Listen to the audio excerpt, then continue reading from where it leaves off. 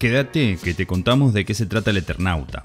Ricardo Darín confirmó el día de ayer que se encuentra en proceso de producción para el formato audiovisual del histórico cómic argentino. La dirección estaría a cargo de Bruno Externaro, creador de Ocupas y director de Un gallo para Esculapio. Pero, ¿por qué es tan importante el Eternauta para nosotros?